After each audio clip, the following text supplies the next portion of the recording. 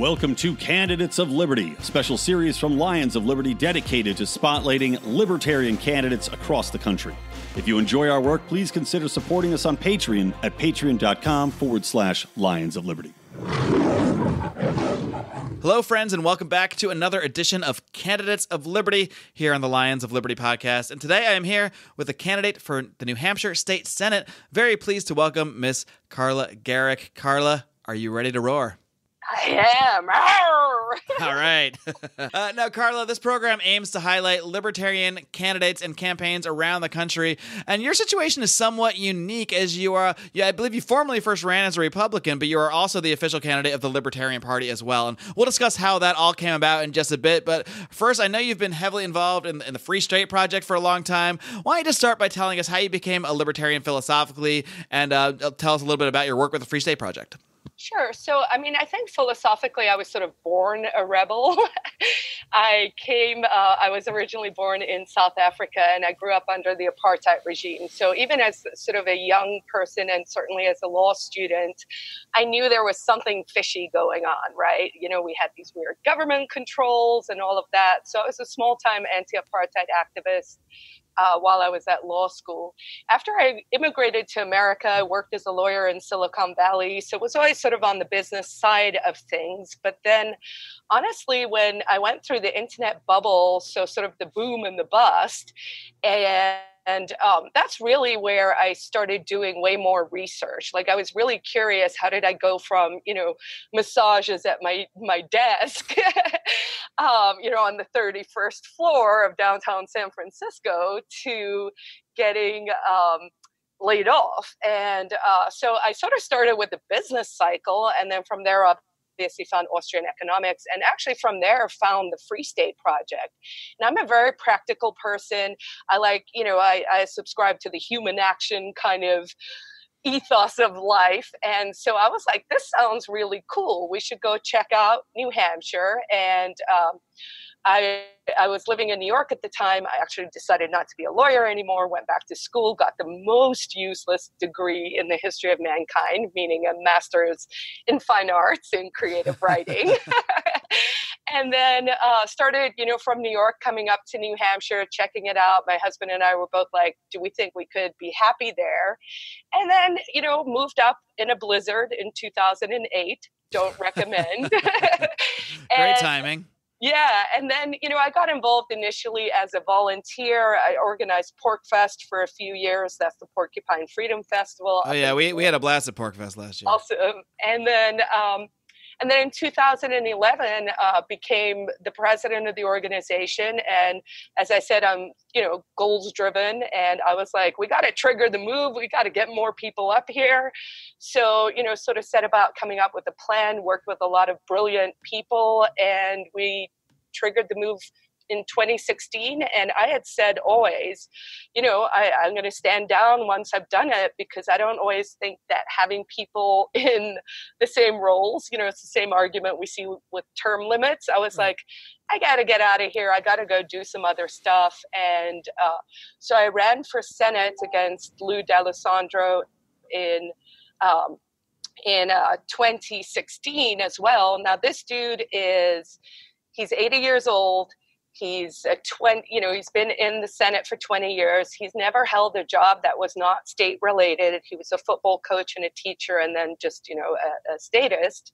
And um, the first time round, I got 40% of the vote, which I felt pretty good about. Especially uh, against a lifelong, basically incumbent. Yeah, exactly. And so I was like, okay, I didn't take you last time, but maybe I can do it this time. And I, I got out early. I've, I've fundraised enough money to like put up a credible fight. I'm getting all kinds of fancy stuff. And then, um, you know, and door knocking and I got volunteers out and, and doing outreach and really, you know, getting beyond, I would say, just the liberty activist bubble, right? You got to get you know, uh, my district's huge. I have to get thousands of people to vote for me.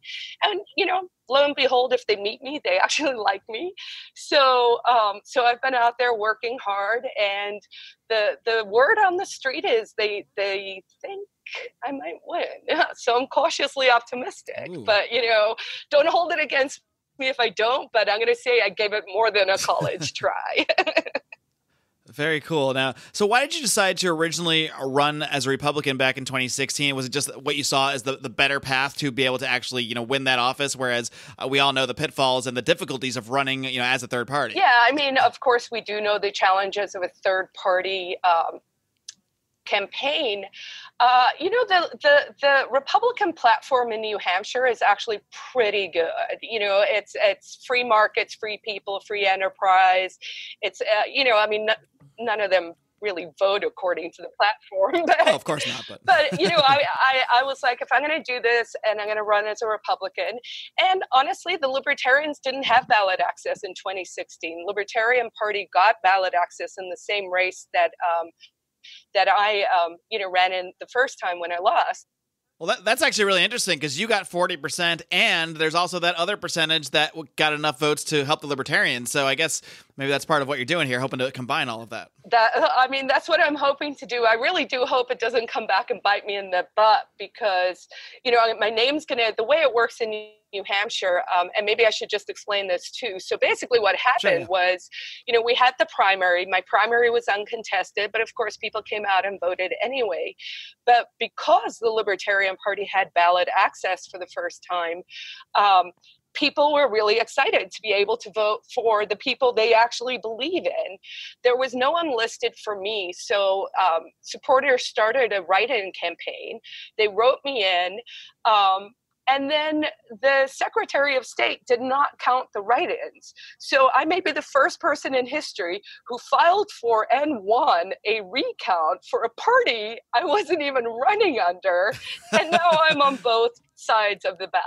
So that's pretty wild. That's pretty wild. So it was a, purely a write-in campaign, and that that was there originally another victor that was declared. No. So what they did is in Ward 11, where I live in West Manchester, um, where actually a lot of porcupines, which is like you know, our colloquial name for for free right. staters, um, live in this neighborhood. So I was poll standing, and people were coming out, and they were like, "Hey, I wrote you in for you know the Libertarian candidate." You're like, you did. And there were enough where I was like, wow, this might actually, you know, happen. And you have to get 35 write ins in order to be considered. So I was at the polling station when they were closing, and the moderator announced, you got 30 write ins. And I remember my, my feeling sort of being disappointment. I was like, oh, I missed the, the 35. Okay, whatever. But then um, people wrote me in all over my district district. This was just one ward. And so mm-hmm. when she said 30, then when the count came out, they said there was only one write in. And I was like, look, something's fishy. Like, but you know, in, in New Hampshire, after a fight, it's now legal to take ballot selfies, right? So everyone was taking a selfie with their ballot to be able to right. prove they wrote me in. So I actually had like backup and the whole thing. So I filed for the recount. And of course, their position was, oops, you know, I don't think it was malicious. I think it's just rank incompetence, to be honest. But I think now they realize, hey, hey, we're watching and you guys need to do your job better. So do you think there was like shenanigans in the first place that they didn't want you to have that that nomination as well or more just incompetence and people not really caring to count them. Yeah, I think actually what happened was um, there were there were two people who were written in on on the Ward 11 ballots. So there were 29 for me, and there was one for some other dude. And um, when they did the tally, I think they put my name one his name won, meaning there were write ins for those. I mean, it doesn't really make sense to me. This is how they mm-hmm. explained it. And then when that tally went to the Secretary of State, it just said she got one write in.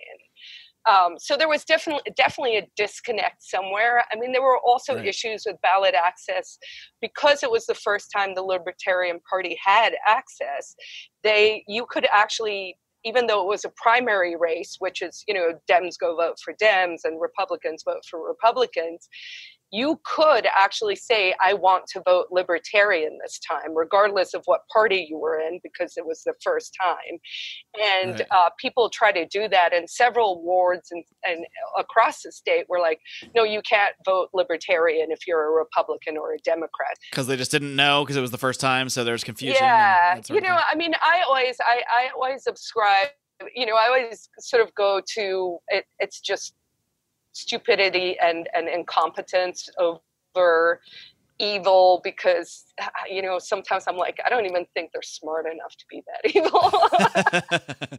Once you meet enough of them you realize okay they're not really manipulating anything. No you know and and and you know i mean a lot of these moderators and stuff you know they're they're they're elderly they're there for you know 20 hours they're tired um, and you know it's it's new to them. So i certainly think for this time there's you know there there you know we would we had a talk with the secretary of state and they said okay they're going to do better. But i've already heard stories that you know each each ward has a different ballot that there are a bunch of mistakes all over the place on all the ballots as well. So I don't know. Uh, how do you find yourself connecting uh, with voters in New Hampshire? What What are the main issues you're able to connect with people on? Because obviously, you know, so many people, libertarians especially, connect New Hampshire with the Free State Project. Uh, you know, it's uh, the "Live Free or Die" is the motto. It seems like a state most inclined to libertarianism, but uh, you know, at least on the national level, they still, you know, give us Donald Trump, give us uh, Bernie Sanders as, as victors in those races. So obviously, most people are not fully libertarian in the sense that we might like. So, how are you able to connect with people, and, and what are the issues that you find people agree agreeing with you the most on? You know, uh, when I go door to door, the number one question I would say I get is, "Where are you on Trump?" You know, so so. So there are a lot of people here who are heavy Trump supporters. I always say, you know, I never lie. I'll say, you know, I, I agree with, well, actually, I'm like, Trump's presidency is like a Western. There's the good, the bad, and the ugly, right? That's a good way to put it. Because, uh, yeah, I think that's pretty accurate. And, you know, I'm like, look, I agree with you on the deep state. Uh, I agree with him on the deep state. I, um, you know, I think there's fake news out there, and I'm enjoying the show. Um, so there's definitely that that sort of camp, and I think there are a lot of Trumpers who are actually seeking answers and who are who are looking past the sort of left-right paradigm that we've all been forced into. Um, gun rights is important to some people. Of course, New Hampshire now has constitutional carry, so there's really not much work in terms of liberalizing our gun laws, but there is work to do to stop the gun grabbers and gun control and you know all the laws they want to bring in. Um, taxes you know I, my, my district is quite urban on the one side and quite rural on the other with lots of small business owners. Um, everyone's concerned about property taxes. People care about school choice. We're, we're making some good inroads here in terms of school choice and um, a, a education savings account bill actually got sort of stopped in the senate. So if i do win when i win then um, we're I think we'll get that passed, and that will probably make it so that the the money can follow the child, and then you can pick from you know a, a public school, and there are great public schools here, but you know there's always room for improvement. Public schools, charter, uh, private, or even parochial, and you know obviously that's going to end up being a fight in the Supreme Court, but that's the, the direction we want to move in. And for homeschooling kids, I'm like, I don't even have kids, right? And our only big tax here is property taxes because we don't have a sales tax, we don't have an income tax. And honestly, oh, that sounds that sounds heavenly to me because I'm in California, yeah. so I have all of that. I used to live there, right? Empathize. yeah, you, you, know all too well. But um, but the sales tax and the income tax actually has sort of become a bit of a, a, a ground fight as well because there are lots of people on the left who are just running openly um, on on a platform of hey you know what we should do? We should have a sales tax and an income tax. And i'm like i don't think granite staters are going to go for that. I mean you know that's one of the reasons we're, we're quite prosperous as compared to other states and why we have this great quality of living is because we have a government that actually has to live within its means because you know they, they got to come to us each time and say give us the money for this program. And once the once the taxes start coming, once the sales tax creeps in, it's never going to be enough. It'll start at two percent. I mean, in California, it's it's gone up several times since I moved here. Uh, you know, twelve years ago. So I mean, once it once it starts trickling in, they're always going to want more for the next new big project. Yeah, and honestly, I, I like to use Connecticut as an example as I talk to people because in Connecticut, they you know they tricked people by saying, hey, we can you know we can cut your property taxes if we just do this income tax tax. Now, you know, both have gone up. The property tax is as high as it's ever been, and the income tax is over 7% in less than a decade. and all the rich people because they they in their genius also gave us a millionaire's tax and uh, so you know people were like i'm going to leave and they're and a lot of them i hope are coming to new hampshire i know about some of them who are coming here but you know they're they're bringing their businesses they're bringing their jobs and i'm like bring it bring it to the granite state we want those people yeah, I actually grew up in Connecticut, uh, you know, for, for, a majority of my life before I moved here, and I I, I remember when it happened because my dad was complaining about it. He was like, "I can't believe they're bringing an income tax." And it was it was a whole big you know kerfuffle. yeah, and and I can't believe they get away with it. So that's the one thing I tell everyone because it's a understandable example of don't fall for their lies. All right, now, Carla, if you are elected to the New Hampshire State Senate, I know you mentioned some of the issues that, that are kind of cropping up in New Hampshire, but are there any specific uh, measures you would try, you would personally be looking to push forward, or maybe more likely, in your case, laws you'd be looking to repeal? Yeah, I definitely want to go the repeal route. I mean, I'm happy to co-sponsor bills, and there's some interesting things that that can be done. Um, I'm, I'm a big proponent. I think the war on drugs was an abject failure. New Hampshire actually has not passed recreational. We do have medical. Um, I might I might do this just because it, it, sounds like fun and shenanigans from my end. but the medical marijuana bill here only has specific qualifying events. And so I was like, what if we make one of the qualifying conditions free will? So, ooh, ooh, because sneaky, I would sneaky. like to have that discussion, you know, at the legislature where they have to argue you do not have free will.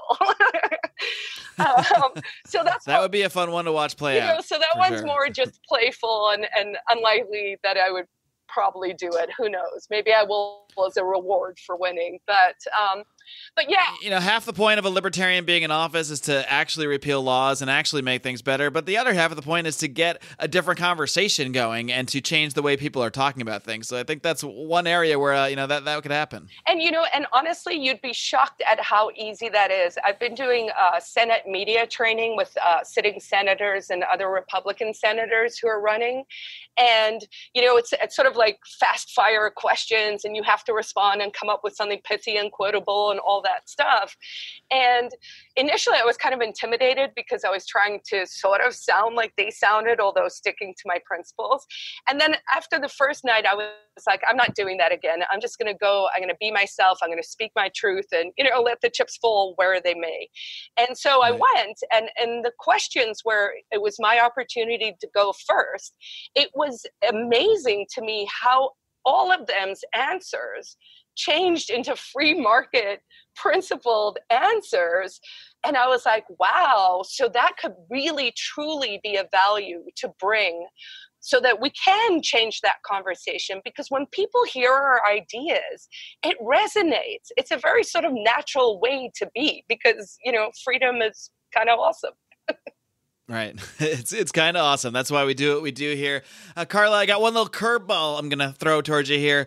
I'm wondering if there's any one libertarian position, or n- not necessarily a position per se, or maybe a viewpoint or a strategy that you sometimes find yourself disagreeing with other libertarians on. Good question. I mean, I guess oh, something that did surprise me recently is is the sort of open borders, closed borders thing that seems to be dividing libertarians more than mm-hmm. it really should. You know, I feel like it's it's primarily a distraction, and honestly, if we look at it economically, if you do away with the welfare.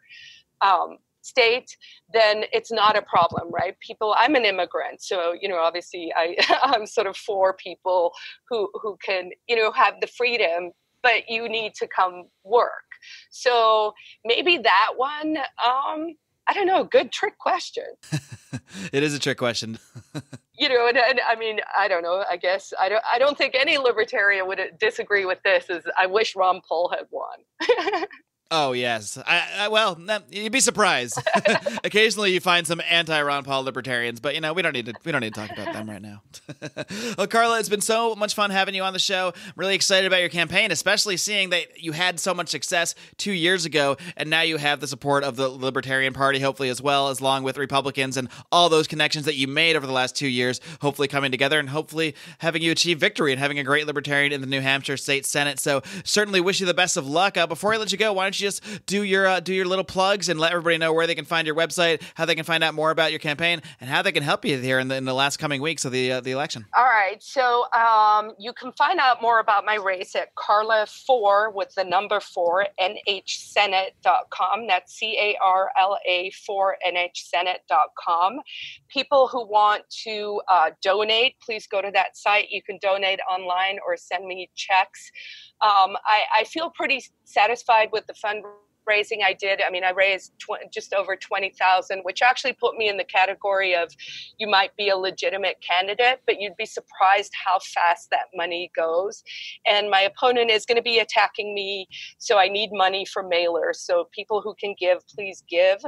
Um, I'm on Facebook and Twitter. Uh, my name, Carla Gericke, and um, there's a Carla Gericke for NH Senate web page, uh, Facebook page that you can look at. And other than that, you know, I, I just, I'm really excited. I mean, you know, I have this sort of, wow, maybe, maybe I will win, you know, and, and I'm trying to manifest it and I'm working really hard. Um, but I promise to serve with uh, true integrity, character, and compassion. So I hope people will support me and I hope we have a great story to tell on November 7th. All right, Carla. Well, I wish you all the best of luck. Keep up the great work. Keep on roaring. Ow. All right, friends, and that is a wrap. Not just on this interview that you heard with Miss Carla Gericke, who we wish the best of luck a week from now with her election. And uh, from the sounds of it, it looks like she is uh, one of the one of the elections out there for libertarians that has a strong chance of victory. Not not to predict it, but it's it's certainly in the margin of error based on uh, you know her last election and a lot of the support she's been able to gather both with the Republican and Libertarian Party. So a very unique situation. Definitely encourage you to check out Carla Gericke. But uh, in the meantime, I want to inform you that this is the last episode of at least of this run of Candidates of Liberty. As I mentioned last week, uh, this show, the fate of the show, is really going to be entirely up to the feedback from the audience. If you guys want to hear from more candidates like this in the future, let us know. There are many ways you can give us feedback. You can email me directly, Mark M-A-R-C at lionsofliberty.com. You can tweet to us at Lions of Liberty. You can come on over to our Facebook. Uh, our Facebook forum is called the Lions of Liberty Forum. If you just type that in, that's an entirely public Facebook group. It's, it's a private group, but we let anybody into it basically if they're a fan of the show, as long as you don't seem like a, a spam bot of some kind or a Nigerian prince. Uh, not that I have anything against actual Nigerian princes, but as you know, they're not always uh, what they say they are. but we will, uh, you know, return to the issue of the candidates. Obviously, once these elections take place, I, I want to do some kind of podcast, sort of at least following up on the results uh, with some of the candidates that I brought on over the last few months, as well as uh, John and Brian. We all chipped in to make this show happen, largely we, because we met so many amazing people at the Libertarian National Convention, as well as at PorcFest. So many people who were Libertarian Party activists and candidates, and we really wanted to provide a platform for them and help their voices get out there a little bit more. So this was very much an experiment uh, with candidates of liberty, and I hope you all seem to have enjoyed it. We are getting a lot of positive feedback, both from listeners and from candidates. So we're, we are very excited uh, with what we've heard so far about the show, but uh, we're just, I guess I'll just say its fate is up in the air and leave it at that. Of course, one way to show that you love it, to show that you want us to do more programming like this, is to join our Patreon because that is how we were able to go to events like the LNC, like PorcFest, that inspired this podcast in the first place. And of course, we are putting the extra time and effort in to do this program and put it out there for free to the public. So anything you're able to contribute to us, as little as $5 a month, can get you into the Lions of Liberty Pride, which means you'll get access to all of our bonus audio. Believe it or not, in addition to Candidates of Liberty and the three shows we do every week, myself on Mondays with great interviews with libertarian leaders, Brian McWilliams on Wednesdays with Electric Liberty Land his look at comedy culture and liberty. And of course, John wraps things up every Friday with his look at the broken criminal justice system on Felony Friday. All great reasons to subscribe to Lions of Liberty. And we've been doing this candidate show in addition to all that. So that is all free for the public, but we have a ton of extra content that we produce for our Patreon subscribers. We do the Conspiracy Corner show. Uh, Brian, Odie, and Rico do Degenerate Gamblers, which is about 2% about gambling and 98% about ridiculous stories from our college days. Uh, we also have the League of Liberty, which I do with my friends Roger Paxton, Chris Spangle of We Are Libertarians, who is recently zucked on Facebook. So please do support our good friend Chris Spangle in his in his current exile, as well as Johnny Adams of Blast Off. So we are happy to bring you all of this extra programming, and you can get access to all of it, as well as support the current work we are doing for as little as five dollars a month. So please do check out our Patreon over at patreon.com slash Lions of Liberty. Until next time, and I don't know when next time is going to be on this particular format, but when it is, you can be darn sure we're going to be roaring for liberty. And until then, live long and live free.